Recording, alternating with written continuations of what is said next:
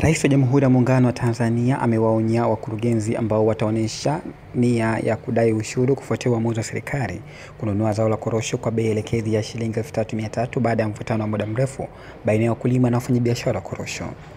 Rais Magufuli ametoa kauli hiyo akiwa mkoani Mtwara wakati akizungumza kwenye uzinduzi wa uwekaji wa jiwe la msingi la ujenzi wa barabara kutoka Mtwara kuelekea Newala na Masasi, ambapo amesema serikali haiwezi kuamua kuwasaidia wananchi alafu halmashauri jitokeze kutaka ushuru. Rais Magufuli amesema halmashauri mmeshindwa kusimamia korosho baada ya kupewa bei nzuri, wanapewa 1500 tukasema hapana, tukakopa ili tuwalipe nione mkurugenzi ananiomba hizo hela, aone kama ataendelea kuwa mkurugenzi, utaombea kijijini ukiwa unalima.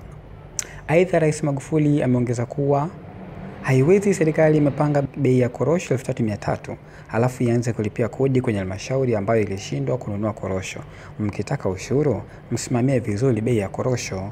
Siwezi nikakusanya hela mikoa mingine nije niwalipe nyinyi. Rais Magufuli ameanza ziara ya kikazi mkoani Mtwara ambapo ameanza Aprili 2, 2019. Amefanya uzinduzi na uwekaji jiwe la msingi kwenye viwanda cha kubangua korosho cha Yalni pamoja na ujenzi wa miundombinu ya barabara.